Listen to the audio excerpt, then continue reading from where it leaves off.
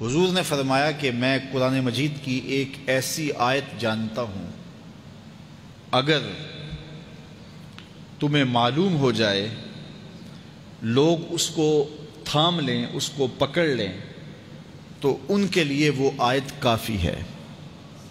एक आयत कुरान की जो मैं जानता हूँ अगर लोग उसको थाम लें उस पर अमल पैरा हो जाएँ, उसको रूहों में उतार लें उसको अपने अमल का हिस्सा बना लें, उस पर यकीन ज़ान का जहाँ आबाद कर लें तो फरमाया कि वो एक आयत ही उनकी पूरी ज़िंदगी के लिए काफ़ी है।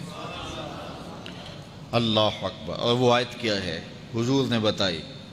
वो आयत ये है व मई यत्तकिल्लाह यज अल्लहू मखरजा व यर यरजुकहू मिन है सुला यह तसिब कि जो अल्लाह से डरता है अल्लाह उसके लिए रास्ते खोल देता है और उसको वहाँ से